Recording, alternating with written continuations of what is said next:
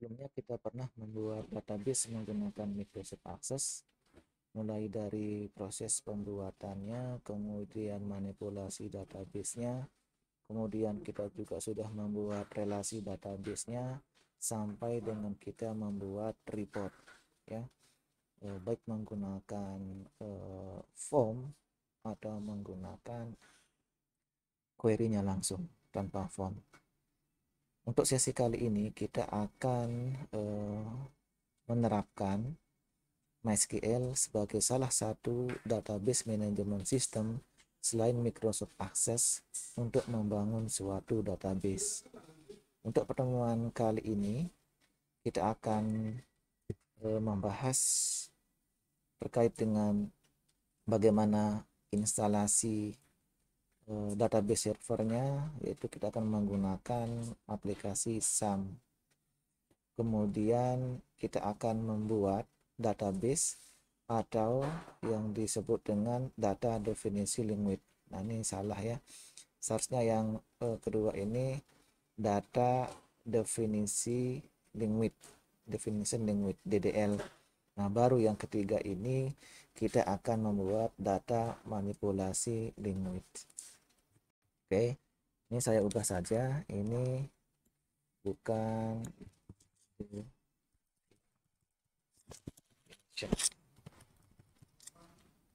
Oke, seperti ini ya. Jadi eh, sebagai pengantar, jadi kalau data definisi language ini adalah eh, proses yang kita lakukan ketika pertama membuat database atau create database. Kemudian yang kedua adalah kita mendefinisikan atau membuat tabel beserta dengan struktur datanya. Nah proses pembuatan database kemudian tabel beserta dengan struktur datanya kemudian kita update nama tabel kemudian update nama atribut dan kolomnya. Semuanya itu disebut dengan proses data definition language jadi deklarasi. Kita mendefinisikan. Nah sama seperti kemarin ketika anda belajar akses ketika kita membuat create mengklik tulisan create database berarti itu sudah kita melakukan proses data definition definisi language ketika anda membuat tabel beserta dengan kolom-kolom dengan tipe datanya itu juga termasuk data definition language di DDL pokoknya proses pembuatannya ya proses pembuatan tempatnya rumahnya baik itu database-nya kemudian tabelnya struktur datanya kemudian kita mengupdate struktur datanya. Nah semua itu termasuk proses data definition language sedangkan yang data manipulasi language adalah kita mengisikan isinya setelah Anda membuat database-nya, setelah Anda membuat tabelnya, maka tinggal kita mengisikan datanya, ya. Nah, di sini terjadi proses insert. Kemarin waktu kita membuat menggunakan form diakses ada tombol, kita membuat tombol add record, tambah data, ya. Kemudian kita membuat tombol simpan data, delete data, update data. Semua proses itu disebut dengan data manipulasi language. Kita memanipulasi, kita bisa meng mengisikan datanya. Nah, misalkan eh, kita mengisikan data pasien, kemudian kita menghapus record pasien, mengupdate datanya misalnya ada yang salah datanya dan sebagainya. Nah, itu merupakan uh, proses uh, manipulasi language. Jadi harus Anda pahami perbedaannya ya. Kalau yang DDL ini proses pembuatan database dan tabelnya beserta struktur datanya, sedangkan DML ini proses pengisian datanya ya, insert data, kemudian update data sama delete data. Ya, jadi biasanya tiga ini insert, update, delete. Jadi apanya yang apanya yang diinsert, update sama delete datanya, kontennya. Nah, ibaratnya kalau kita membangun rumah ya di dunia nyata kita membangun rumah kemudian eh, menentukan kamar kemudian eh, sampai rumah itu jadi kita bangunkan tempatnya itu ya itu proses DDL sedangkan ketika kita proses mengisikan dengan kasur dengan lemari kita taruh di tempat masing-masing nah itu merupakan e, manipulasi linguitnya kita mengisikan datanya. Kita mengisikan rumah kita dengan barang-barang yang kita butuhkan. Nah proses pengisian dengan barang-barang yang kita butuhkan itu disebut dengan data manipulasi linguit sedangkan proses pembuatan rumahnya kamar-kamarnya sampai dengan bangunan intinya jadi itu namanya DDL artinya anda tidak bisa melakukan proses DML jika proses DDL ini belum dilakukan. Kita tidak akan pernah bisa mengisikan data dalam suatu tabel database jika databasenya nggak ada. Tabelnya nggak ada, itu nggak bisa. Baik ya, saya rasa ini sudah jelas pengantarnya. Sekarang eh, kita langsung saja, ya, kita langsung saja eh, buka sini, silakan kita ketikkan di sini download sam ya download sam. Oke. Saya sarankan anda menggunakan yang versi terbaru. Ya di sini ada yang apache friends.org oke kita nah di sini nanti eh, bisa anda tentukan ya.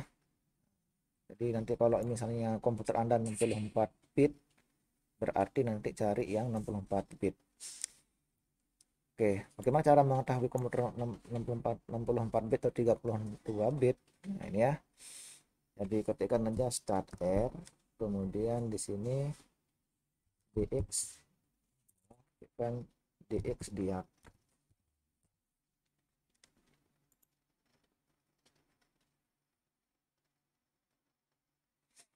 Oke, kita tunggu dulu sebentar. Nah, Anda, Anda bisa cek nanti eh, versi sistem operasi yang Anda punya. Dia nanti bisa download sesuai dengan eh, ini ya, eh, tipe sistem operasinya. Oke, kalau saya ini 64 bit, berarti nanti saya bisa download yang versi terbaru. Nah, ini Jadi kalau Anda ketikkan yang start add tadi, start r tadi, ketikkan di XDiap akan muncul. Nah, di sini di operating systemnya Anda lihat Windows 10 Enterprise 64 bit ini ya. Berarti saya Windows saya ini 64 bit. RAM saya ini 4 GB. Kemudian Intelnya Core i5. Nah, Anda bisa ngecek nanti spesifikasi laptop yang Anda punya. Nah, karena ini 64 bit, berarti saya bisa download yang 64 bit. Oke, saya download dulu. Misalkan saya download yang ini aja. Oke, kita download.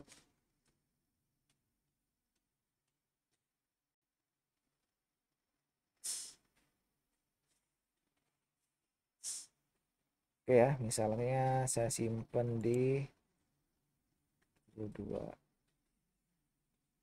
Oke, saya buat aja folder. Sam. Buat folder. Oke. Saya simpan di sini ya.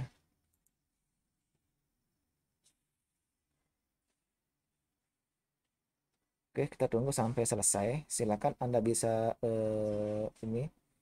Kalau misalnya yang 32 bit coba download. Download. Download sang 32 bit. Oke nanti ini silakan anda bisa uh, cek ya. Ini ada yang 32 bit. Oke nanti anda bisa kondisikan ya kalau di sini kayaknya coba ada nggak all all version di sini? Coba yang 32 bit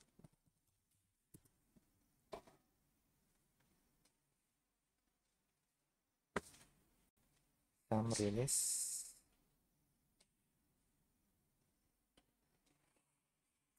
coba ini tinggal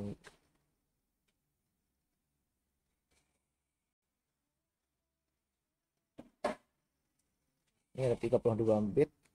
Of sum ini ya nanti anda diarahkan ke download ke sini. Atau bisa juga lewat sini. Nah ini 32 bit. Bisa juga ini ada SAM for Windows 32 bit. Ini bisa di download nanti ya. Oke karena saya sudah uh, download yang ini sekarang langkah berikutnya adalah kita akan melakukan instalasi. Oke silakan ini cara installnya gampang sekali Oke ini kita tinggal double klik saja aplikasinya Oke, kalau muncul ini yes.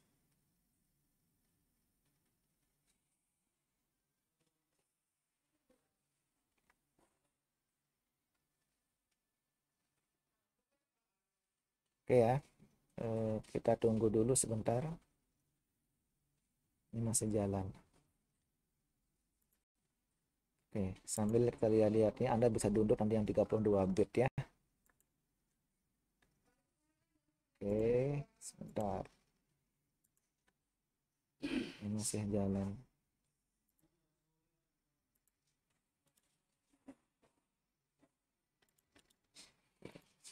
Ini sama.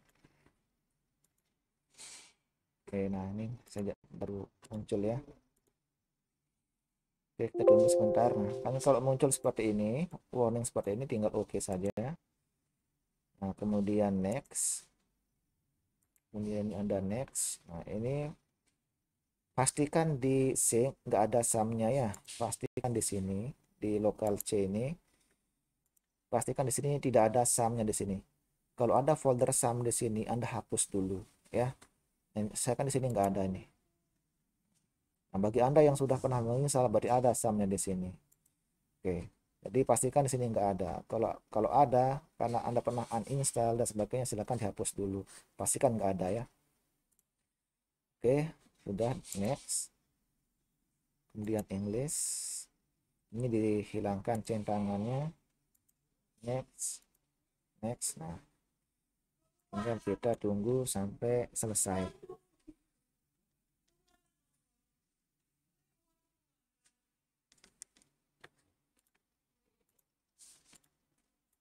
Nah, di sini butuh eh, waktu ya untuk ini. Baik, sambil menunggu ini selesai diinstal, silakan Anda bisa mencari eh, modul tambahan ya. Tinggal ketikkan saja di sini. Modul sistem basis data Yunus. Nah, ini pernah saya pernah buat ini ya. Tapi ini e, nanti enggak dari awal. Kalau anda ini sekedar untuk nambah-nambah referensi saja ya. Di sini kita bisa ini banyak sekali ini. Ini saya pernah upload di sini oke. Nah, kalau ini dari dasar sekali ya ini dari dasar banget. Silakan kalau anda mau pelajari tinggal download ya. Tinggal download ini pernah saya buatkan.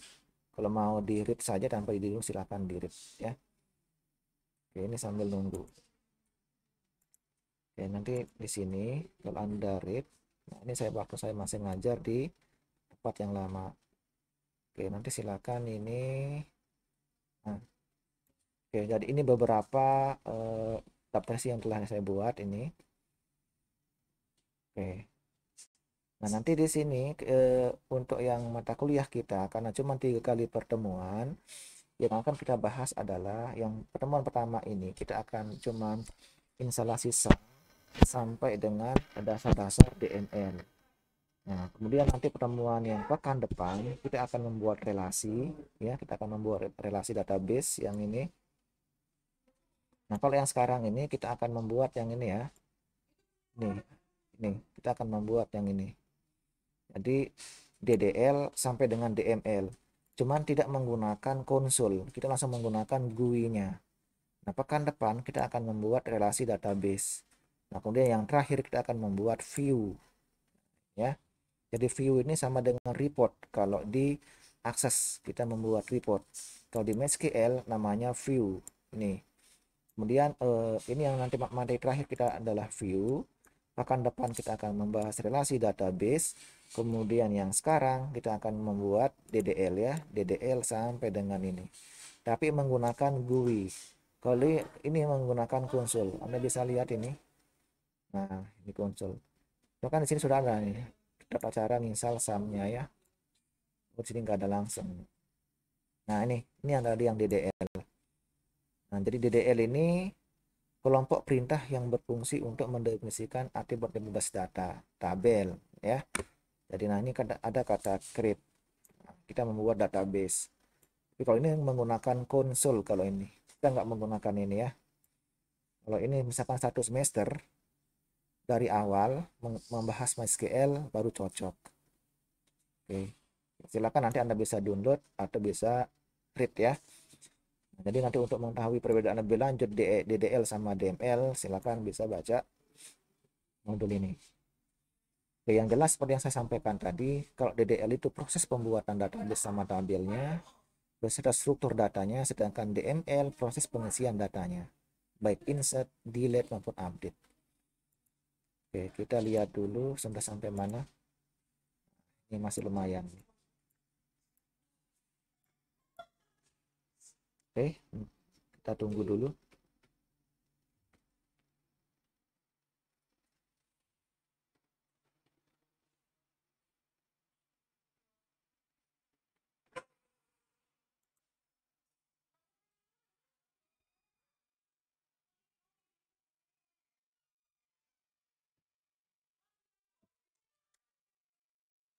ya silakan eh, sambil di install ya jadi anda bisa cek dulu eh, spesifikasi komputernya.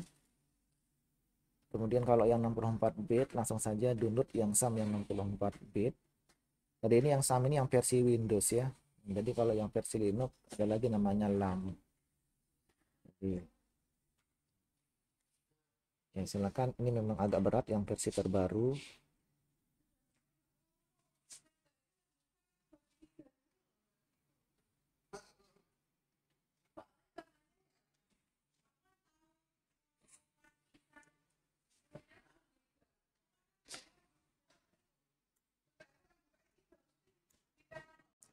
Oke, kita tunggu dulu ya. Silakan diselesaikan instalasinya. Baik, sambil nunggu, ini saya jelaskan nanti eh, nanti di akhir eh, praktikum, di akhir kuliah ini di sini sudah ada tugas ya. Oke, nanti tugas Anda adalah dari eh, kasus kelompok yang kemarin Anda telah tentukan dengan kelompoknya, Anda kerjakan secara mandiri membuat database-nya menggunakan MySQL. Ya tentunya nanti saya akan jelaskan bagaimana cara membuatnya, kemudian Anda coba sendiri menggunakan kasusnya masing-masing. Kemudian nanti jangan lupa setiap langkah yang Anda lakukan itu di screenshot dari e, proses e, pembuatan database-nya, kemudian membuat tabel, mendefinisikan struktur-strukturnya, ya. Nah, itu Anda semuanya di screenshot kemudian nanti ketika membuat DML-nya mengisikan datanya dan sebagainya juga itu di screenshot kemudian taruh di Word di PDF-kan kemudian kasih nama sama NIM golongan kemudian dikumpulkan paling lambat Hamin satu sebelum perkuliahan. Depan ya dia melalui LMS oke ini tugasnya. Kita tunggu dulu sebentar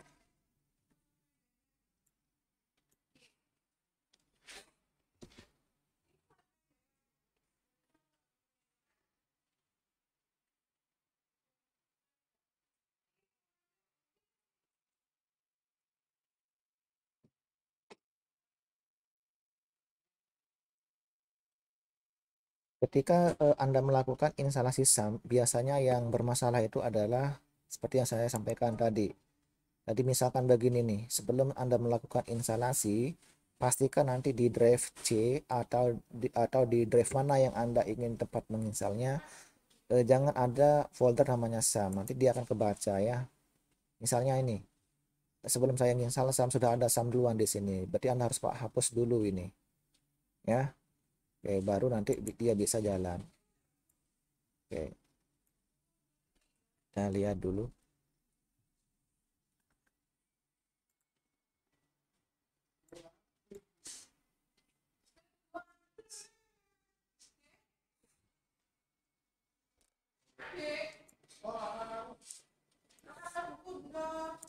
Oke, kita uh, tunggu dulu ya.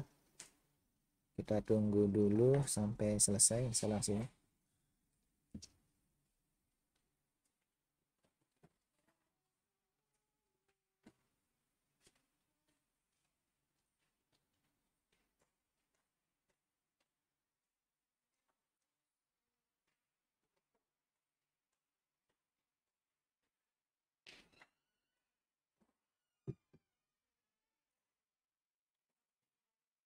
ini lumayan lama karena memang uh, ini ya yang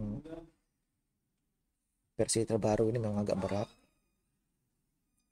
tergantung juga kecepatan atau spesifikasi komputer masing-masing ya Oke, kelebihan dari SAM ini nanti sudah tersedia web server sama database servernya. Jadi ini sangat cocok nanti ketika Anda akan melakukan atau membuat program berbasis web atau yang berbasis client server ini sangat cocok. Dulu sebelum lahir SAM ini eh, kita kalau mau membuat program atau membuat database server itu atau yang membuat program berbasis web berarti harus install sendiri-sendiri. Apache-nya kita install sendiri, kemudian MySQL-nya juga kita install sendiri. Nah, sekarang kalau SAM ini ini sudah paket komplit ya. Malah file Zilla juga ada di sini kalau nanti kita mau mau uh, upload ya. Upload file.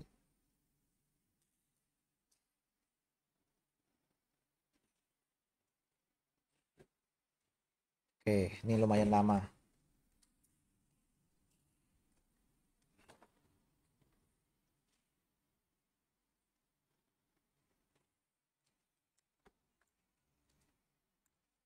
Oke, sambil nunggu ini, eh, mungkin bisa saya ya.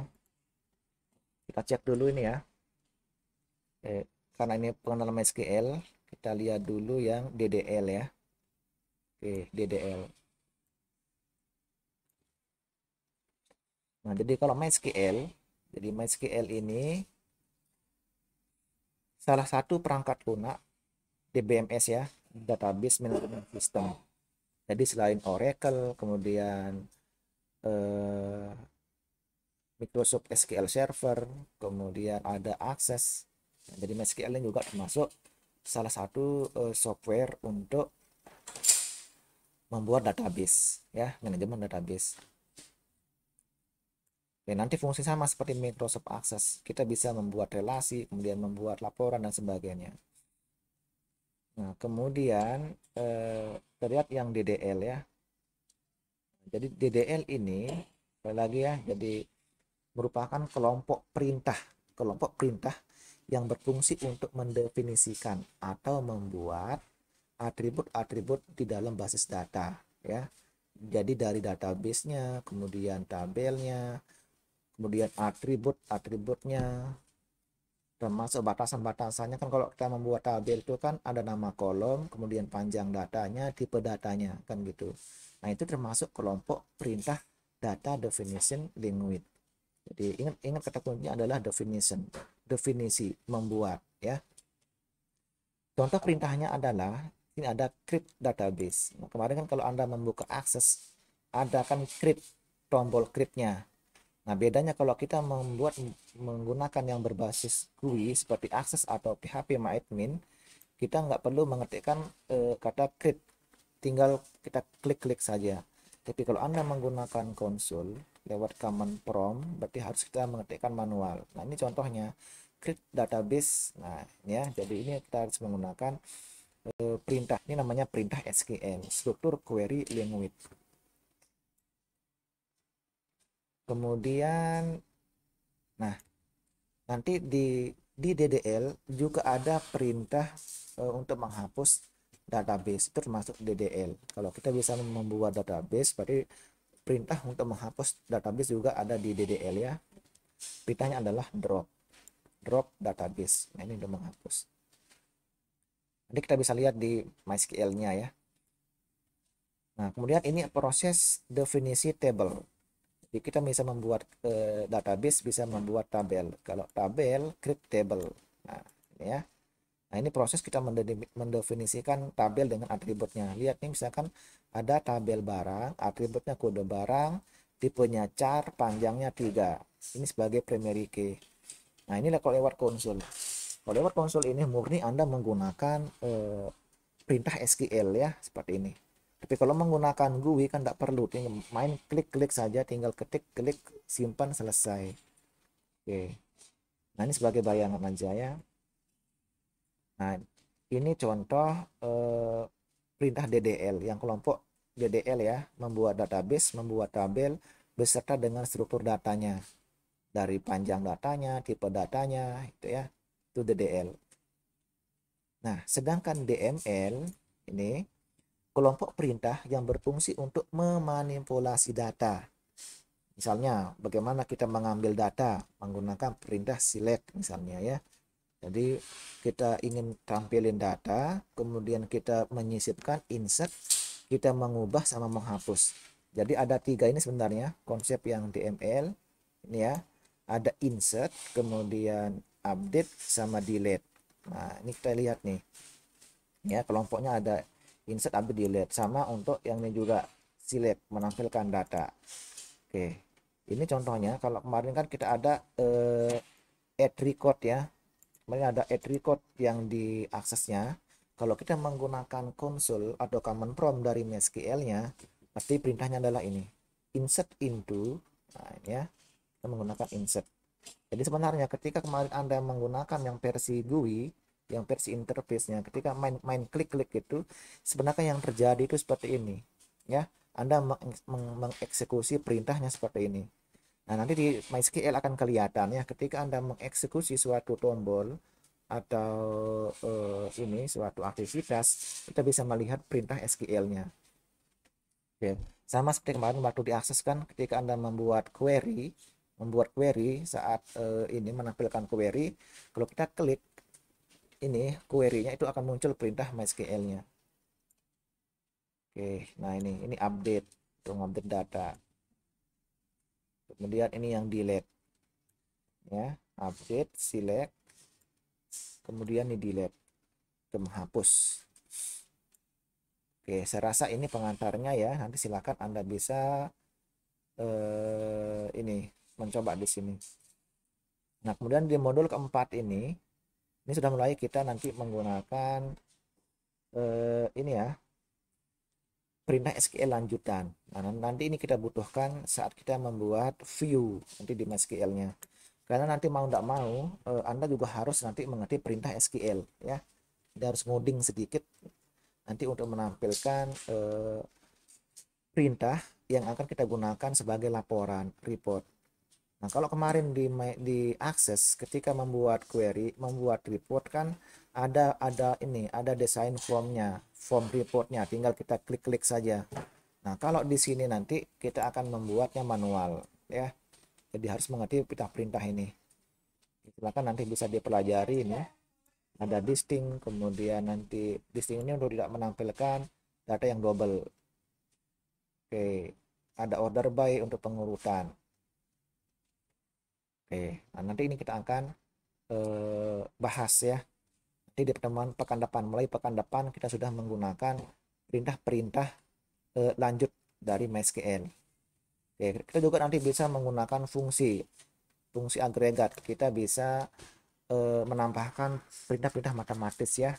Bisa menghitung jumlah record, kemudian menghitung e, jumlah nilai suatu record, mencari rata-rata, nilai minimal, maksimal, dan sebagainya ya. Oke, nanti kita akan coba.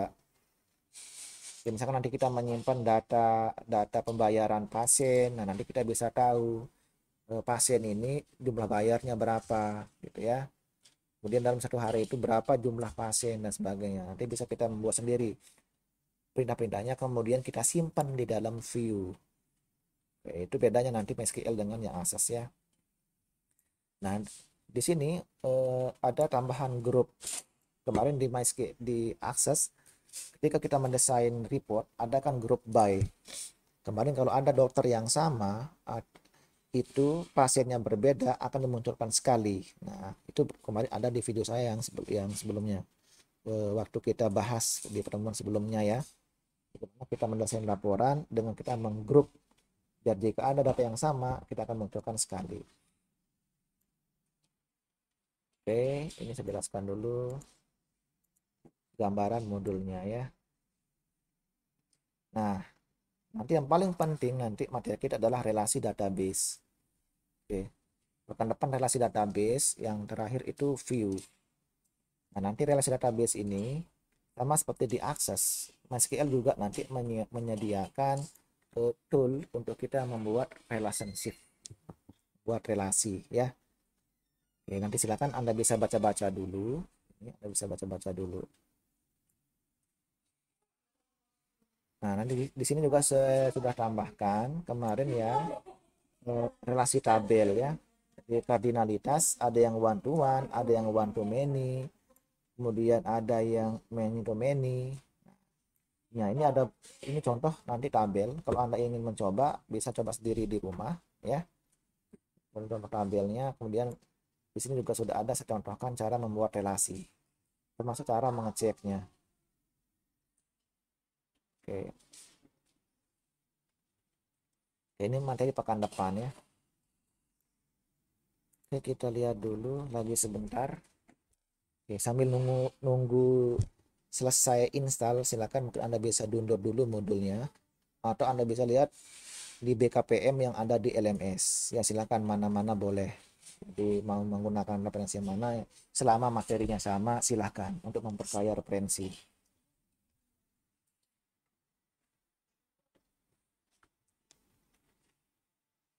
Oke, sebentar lagi ini selesai.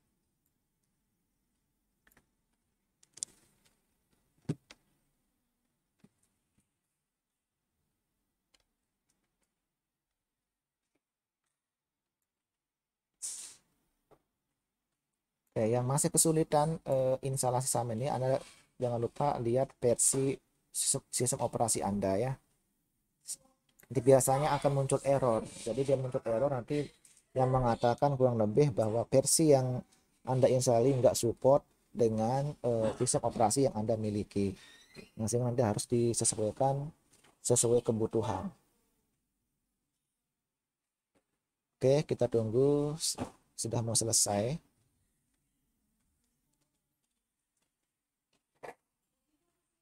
Oke ya, kita tunggu sebentar ini sudah mau selesai.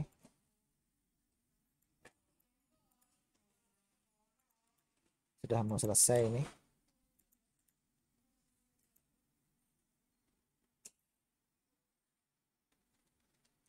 Oke, silakan yang belum download modul atau e, membaca silakan dibaca dulu. Boleh menggunakan yang BKPM, boleh juga menambah referensi menggunakan e, modul saya yang telah saya tunjukkan tadi cara mencarinya lewat Google ya silakan. Nah, jadi materi kita adalah pengenalan MySQL tadi saya jelaskan eh, perbedaan DDL dengan DML hanya harus anda pahami ya. Nah inti materi kali ini adalah bagaimana anda bisa membuat atau mengimplementasikan perintah DDL sama nanti perintah dasar-dasar DM DML kita bisa lakukan. Nah nanti yang tingkat lanjutnya pekan depan ya dua minggu ke depan itu kita akan menggunakan perintah tingkat lanjut. Oke ini sebentar lagi selesai. Kita lihat dulu sebentar lagi selesai ini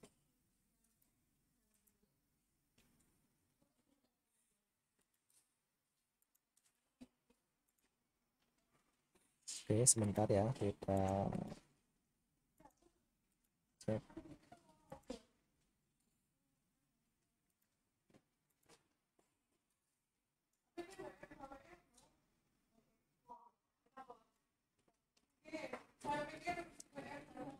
Oke, nanti ada eh, beberapa pengaturan yang Anda mesti atur sebelum menggunakan ini ya. Yang pertama adalah kita perlu nanti mengaktifkan web servernya yaitu Apache-nya. Dan yang kedua, Anda perlu nanti mengaktifkan eh, database servernya, MySQL-nya. Jadi dua itu aja yang intinya. Oke, nanti selebihnya itu nggak usah. Oke, sebentar. Ini bentar lagi selesai. Kalau udah selesai, nanti akan muncul di desktopnya ya. Samnya.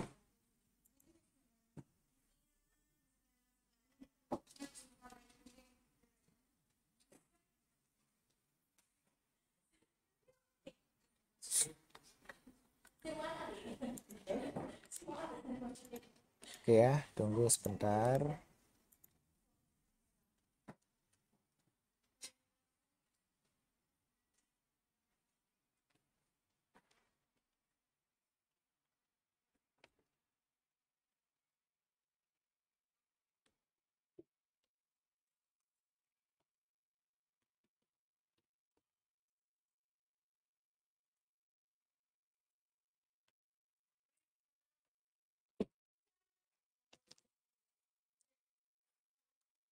Oke, semoga cepat selesai nih.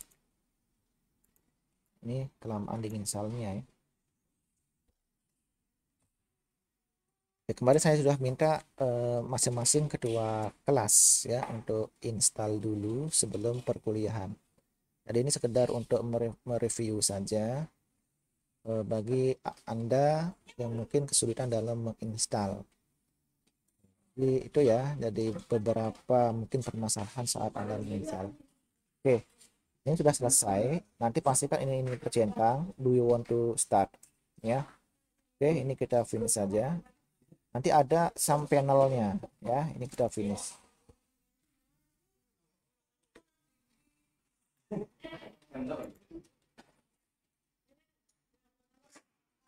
Oke, kita tunggu sebentar. Nanti akan menampilkan sum control panelnya. Nah ini ya pastikan muncul sum control panelnya seperti ini nah di sini ada beberapa modul ya yang yang langsung di yang sudah ada di dalam sum ini yang pertama ada namanya Apache MySQL sampai dengan Tomcat nah sekarang yang akan kita gunakan yang akan kita aktifkan ini adalah yang Apache sama MySQL ya apa ini sebagai web service-nya, web servernya, MySQL ini sebagai database-nya. Jadi harus dua-duanya diaktifkan. Apa sebagai servernya, MySQL ini sebagai database-nya. Ya. Nah, ini Anda tekan aja pastikan dia sampai berubah menjadi stop. Di MySQL juga nah, pastikan ya. Oke. Pastikan ini stop, ini stop. Ini udah warna hijau. Ini artinya ini sudah running, sudah berjalan setelah itu ini anda bisa close nah, kemudian kita buka web browser kita buka web browser oke misalkan sekarang ini ketikkan localhost localhost php my admin ini ya ketikkan ini kemudian anda enter Oke, pastikan dulu Apache-nya sudah e, berjalan sama MySQL-nya sudah berjalan. Nah, nanti ketika Anda merestart atau mematikan laptop Anda, ya, nanti ini juga eh, ini ini perlu Anda set otomatis ya. Oke, nanti ini Anda perlu set dia otomatis. Oke. Nanti ini kalau Anda restart ini juga akan mati sendiri. Jadi Anda mesti nanti meng menghidupkan ulang ya. Nanti sehingga nanti kalau Anda sudah matikan komputer, tiba-tiba Anda ketikkan ini error nah berarti pasti cek lagi di sini ya nanti sebenarnya di sini kita bisa atur di konfigurasi ini ini di konfigurasi ini ya. Jadi biar ini ini ada start of modul dan ini kita bisa centang SQL simpan. Nah oke. Ini mungkin ada masalah di samcon.ininya ininya ya udah ini nggak apa-apa. Nanti kita sebentar eh, jalankan manual saja ya. Oke, sekarang pastikan sudah benar seperti ini. Ketika menyalakan localhost php admin seperti tampilannya. Jadi ini tampilan e, grafik user interface seperti akses. Akses kemarin kan ada tampilan-tampilan e, interface-nya ya. Nah, kalau di SAM ini di di e, PHP admin ini selain ada GUI-nya, ini juga ada konsul di sini. Di paling bawah ada konsul nih. Ya di sini kita bisa membuat perintah nanti, membuat query di sini. Misalkan create database, di sini bisa ya. Misalkan nih create database.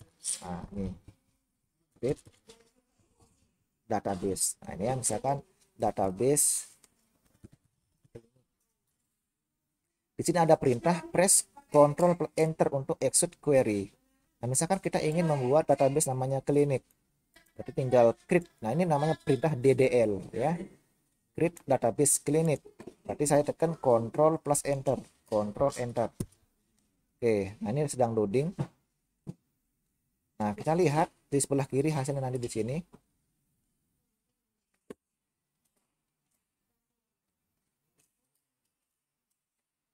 Ini create MySQL coba seharusnya cuma terbentuk. Kita coba refresh. Nah, ya. Ini sudah masuk ini klinik. Jadi Tadi kita sudah membuat create database klinik ya. Nah, di sini sudah masuk. Nah, sekarang nanti Anda bisa menggunakan eh, kalau mau coba-coba di modul saya tadi itu bisa menggunakan ini ya. Perlu menggunakan lewat sini. Lewat CMD. Nah, Anda perlu menggunakan lewat sini. Jadi di pihak admin ini sudah ada fasilitasnya ya. Baik, sekarang kita eh, tutup dulu konsulnya. Nah, sekarang kita akan membuat database SIMRS. Misalnya ya. Nah, jadi sebelah kiri ini berfungsi untuk menampilkan database sama untuk membuat database. Ya, di sini ada new. Nah, di sini ada menu-menunya ya, ada database, ada SQL, ada import, export. Kita kita kita bisa melakukan export sama import di sini. Nah, di sini ada informasi database servernya. Ini versinya adalah MariaDB. Ini ya ini versi 10 sedangkan web servernya ini Apache. Ya PHP-nya versi 7234 oke sekarang kita langsung saja. Kalau tadi sudah kita eh, coba praktekkan DDL data definition language. Misalkan create database ya ketemu di sini. Nah sekarang ada lagi perintah yang DDL drop database. Kita lihat di sini. Kita bisa lakukan perintah ini ya.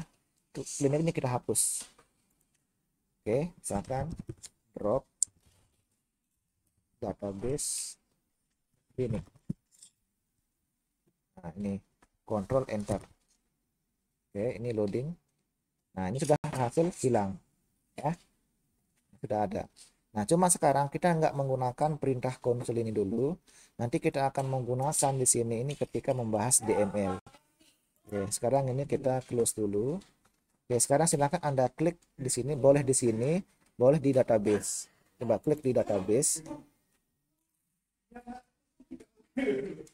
Oke ya. Klik di database ini. Di sini ada create database. Nah, ini ya. Sekarang kita nggak perlu mengetikkan perintah. Kalau tadi kan kita ketikkan perintah create database kan. Nah, karena ini versi GUI, berarti kita nggak perlu. Langsung aja. Misalkan klinik. Nah, seperti ini. Kalau tadi kan Anda mengetikkan perintah ini tadi di konsul yang di sini. Nih, sekarang tidak perlu. Kita sudah dibuatkan nih, create database klinik. Nah, ini ya. Tinggal create saja nih. Tinggal create. Oke. Nah, di sini sudah terbentuk. Ya. Di sini sudah terbentuk. Nah, sekarang ketika eh, kita sudah membuat database ini ya. Tinggal anda klik saja databasenya klinik. Ya nah nanti sini akan ada perintah create table. Oke sekarang tinggal kita tentukan saja apa nama tabelnya kemudian berapa kolom. Nah kalau kemarin kan kita pernah membuat tabel dokter ya. Misalkan ada id dokter kemudian misalkan ada nomor kemudian id dokter kemudian nama dokter alamat nomor id dokter nama alamat. Namanya ya. Oke misal atau ini misalkan namanya dokter. Oke misalkan empat saja ya. Oke misalkan kolomnya ada empat nanti kolom mau lima nih. Oke ya. Kalau dagu ini ada dagu kita buat dulu tabel dokter. Nah, di sini kita akan mendefinisikan. Nah, jadi create table ini juga perintah DDL. Selanjutnya adalah kita akan mendefinisikan struktur data dari tabel ini. Strukturnya dari nama atributnya, panjangnya. Nah, ini inilah namanya perintah DDL ya. Oke, misalkan di sini eh, ID dokter. Ya, ID dokter. Misalkan nama Ingat dan boleh pakai spasi ya untuk variabel. Misalkan jenis kelaminnya, kemudian alamat. Oke.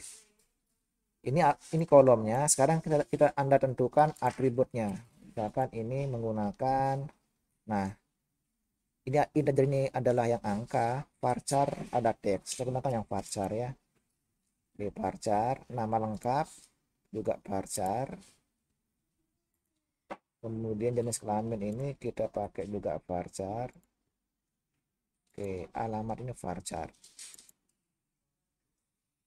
Oke, varchar ini, ini sama dengan string ya. Jadi gabungan dari beberapa karakter. Nah, sekarang kita akan tentukan panjang datanya. Misalkan id dokter ini misalnya 5.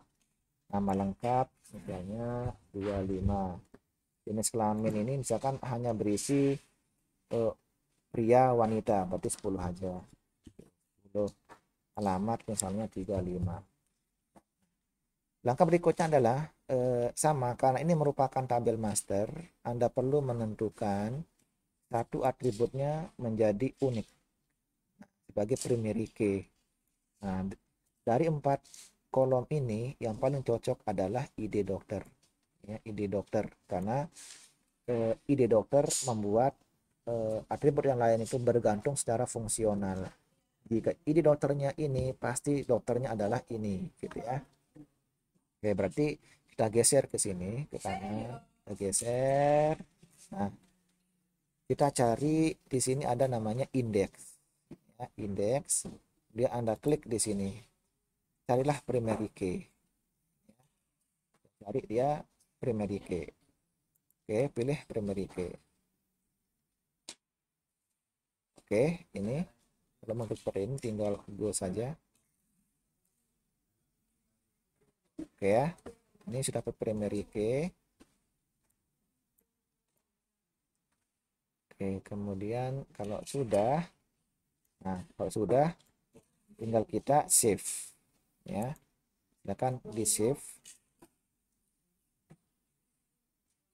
Silakan di save. Nah, di sini langsung ya di ini lihat strukturnya. Ini ini database klinik di bawahnya ada dokter ya ini ada dokter. Nah, kalau saya klik dokter ini ya nanti akan muncul di sini. Ada perintah select all from dokter. Nah ini perintah DML ya. Oke nah sekarang kita bisa melihat struktur tabel dokter. Ini di sini ada struktur. Di sini ada browse ada struktur jika Anda ingin melihat struktur tabelnya, kliklah struktur. Oke, ini struktur. Klik struktur. Nah, ini kelihatan ya. ID dokter primary key, panjangnya 5, varchar. Oke. Kalau mau diubah, silakan bisa diubah di sini. Tinggal ching. Oke, kalau mau diubah ya. Silakan mau ubah nama nama kolomnya. Nah, ini kan tinggal diubah aja ini.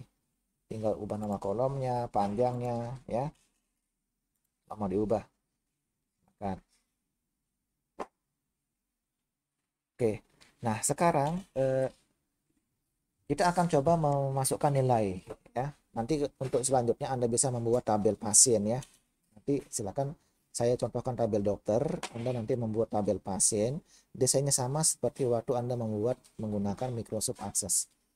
Baik, sekarang bisa enggak kita menambahkan kolom baru?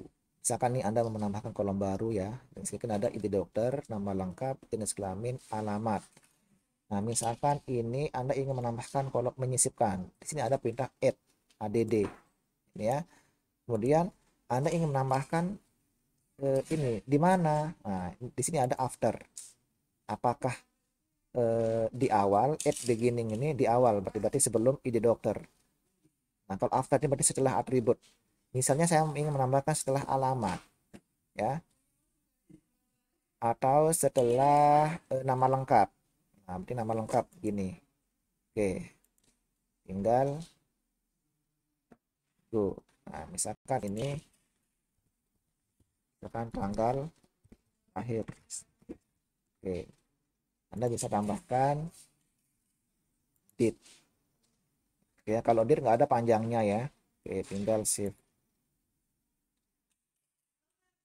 Oke, seperti itu caranya ya. Nanti Anda bisa eh, ini menambahkan, bisa menghapus, bisa menambahkan. Kalau mau menghapus, tinggal klik, misalkan klik ini, tinggal drop ya. Tinggal drop ini aja. Nah apakah ini ingin menghapus? Nah ini inilah perintah DDL untuk menghapus eh, kolom ya. Kalau kita nggak menggunakan GUI kalau kita menggunakan konsul anda mesti mengetikkan perintah alter table dokter drop tanggal lahir nah, ini bisa bayangkan ini salah bahasa Anda ketik salah juga gitu Nah, ketika menggunakan versi GUI ini memudahkan kita. Oke, jika ingin Anda menghapus tinggal oke, jika enggak cancel. Oke. Baik, sekarang kita lanjutkan yang terakhir kita eh, DML ya. Data manipulasi manipulation language. Silakan klik browse. Oh, sorry, browse ini untuk eh, menampilkan ya ini select. Nah, kalau Anda klik browse nanti akan memunculkan isian datanya. Select all from doctor. Nah di mana kita mengisikan datanya? Di insert. Sorry tadi salah ya. Jadi kalau browse ini kan ini kan mencari menampilkan menampilkan datanya. Karena kita belum karena kita belum mengisikan data makanya kosong. Lihat ini. Nah, ini nama kolom-kolomnya dari id dokter sampai dengan alamat. Nggak ada isinya. Ya select all from dokter. Nah masih kosong nggak ada isinya. Ini masih kosong nih nggak ada isinya. Oke sekarang kita isikan dulu. Silahkan anda klik insert. Klik insert di sini.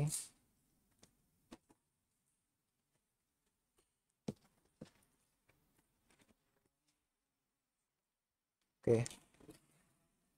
Ini tampilannya yang sebelah kiri ini eh, menampilkan kolom atau atributnya yang sebelah kanan ini value-nya. Anda fokus ke value jangan ke fungsinya ya kita akan mengisikan di value. Ini kan ada ide dokter. Tapi misalkan saya masukkan misalkan D001 nama lengkapnya misalnya eh namanya misalkan Benny ya tanggal lahir dokternya misalnya oke ini juga kita bisa.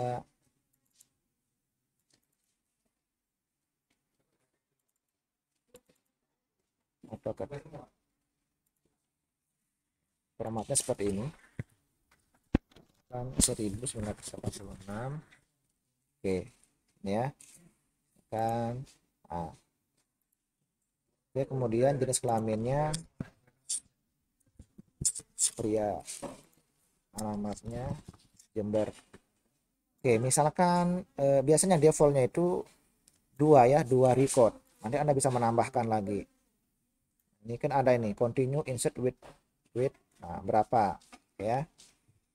Oke kita isikan yang kedua. Misalnya ini D002 nama lengkapnya misalkan Ayu kopikan aja.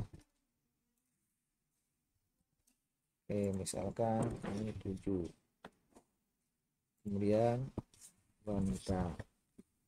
Amat misalnya. Satu. Nah. oke. Misalkan kalau anda ingin menambahkan dua lagi tinggal klik go ya. Oke, misalkan saya cukup kita ngentikan dua dulu. Kita ngentikan dua dulu go nah perhatikan langsung nanti di eh, kolom SQL setiap kali kita memasukkan nilai atau mengeksekusi tombol-tombol ini biasanya akan langsung menampilkan SQL-nya. Anda perhatikan inilah perintah DML-nya. Perintah DML dari insert ya. Insert into. Nah, kalau Anda kalau kita nggak menggunakan tombol insert ini, berarti nanti Anda ini yang akan Anda ketikkan di perintah SQL ini atau lewat konsulnya ya. Bisa lewat konsul ini ini atau bisa lewat ini. Ada menu SQL-nya. Anda bisa ketikkan di sini. Ya di sini ada select insert update del oke ya. Nah ini sudah berhasil nih coba kita lihat hasilnya. Kita browse. Kita browse hasilnya. Nah ini sudah masuk ya. Jadi D01 ini sudah masuk nih. Oke. Nah sekarang kita bisa eh, menambahkan lagi ya. Kalau anda mau menambahkan lagi berarti tinggal insert lagi. Oke, misalkan insert di oh, D003 misalkan Budi. Oke, misalnya ini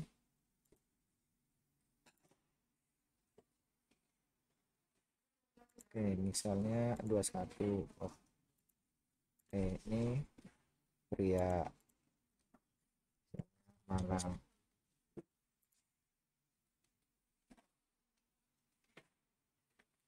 Oke, seperti ini ya. Nah, sekarang ini perintahnya.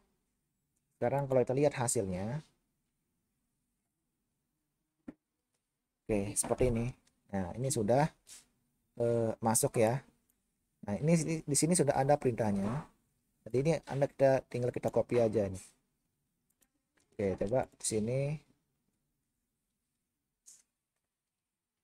Nah, select all from doctor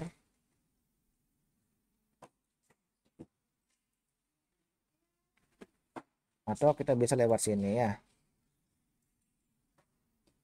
kita lewat konsul ini bisa lewat sini nah lihat ini ada select all from dokter. Nih misalkan where tab misalkan where eh, JK JK sama dengan enggak sama dengan karena itu teks coba ini pria ya saya tampilkan pria oke misalkan sekarang saya mau maunya menampilkan eh, ini juga perintah DML ya oke saya ingin menampilkan eh, data data dokter yang jenis kelaminnya pria oke coba kita tekan kontrol enter enter kita lihat di sini Oke, sekarang pria semua yang muncul ya. Oke. Nah, jadi ini merupakan perintah SQL ya. Nah, kalau kemarin kan diakses, Anda nggak perlu nggak mengetikkan ini, tinggal pilih dari tabelnya, kemudian masukkan kriterianya. Kalau di sini nanti Anda akan mencoba membuat source sendiri. Oke ya, seperti ini. Oke, silakan nanti Anda coba ekspor sendiri dengan membuat tabel pasien, tabel master pasien ya kemudian Anda isikan datanya paling tidak minimal 10 record silakan diisikan ya eh, tabel dokter tabel pasien atau eh, kasus Anda masing-masing isikan minimal 10 record untuk setiap tabel masternya. Oke pekan depan kita akan membuat relasi database-nya ya. Baik untuk pertemuan kali ini saya rasa sudah cukup pengenalan MySQL. Kemudian eh, ya anda sudah saya ajarkan bagaimana cara membuat eh, mengimplementasikan perintah DBL sama dasar-dasar DML. Pekan depan kita akan ekspor lebih lanjut ketika membahas eh, relasi database-nya. Oke, sekian. Semoga bermanfaat. Assalamualaikum warahmatullahi wabarakatuh.